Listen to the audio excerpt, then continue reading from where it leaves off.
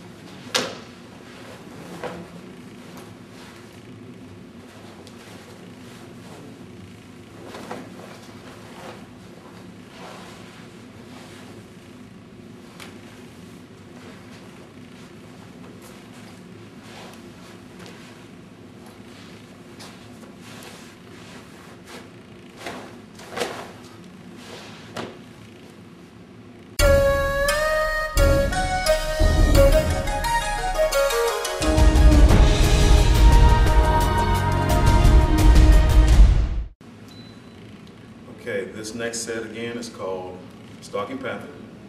And this is a story of the swiftness of the animal and how it moves.